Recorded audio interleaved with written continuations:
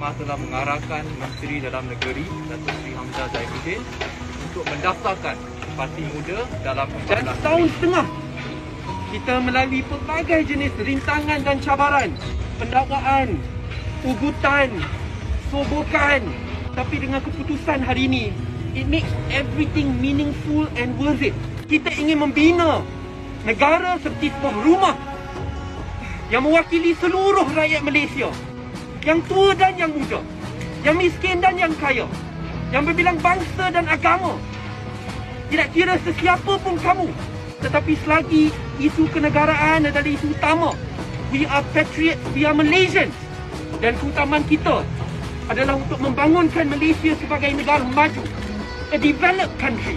A country which is run with dignity, integrity. A country which represents all Malaysians. Because our faith and our future are interconnected to one another. Apabila ada keluarga susah, kesusahan itu dirasai oleh seluruh rakyat Malaysia. Dan apabila ada yang berjaya dan senang, kesenangan itu dirasai oleh kita semua. Itulah mudah. Kita bukan di sini untuk membunuh musuh politik kita. Kita bukan di sini untuk membakar jambatan. We are here to serve and to serve all Malaysians. The battle and the journey has just begun.